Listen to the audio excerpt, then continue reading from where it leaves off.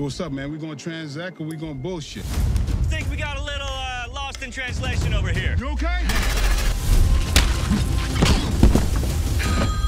Hey, it's not a good time. We are gathered here today to celebrate the life of our brother Akeem. Tell me what happened. He was staying out of trouble. Trouble? The island just isn't the same anymore. Manuel Alvarez. Everyone calls him the company because he owns everything that's important on the island. You know, the fingerprints belong to a Sicario, pretty vicious Colombian cartel. This cop, more trouble than we expected. Do what it takes.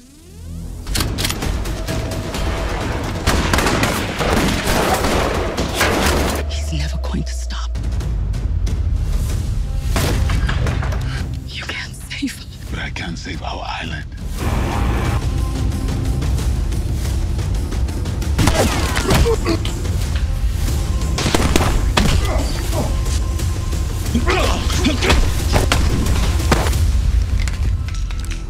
That's right. Had it, didn't need it. I could use it now if you like.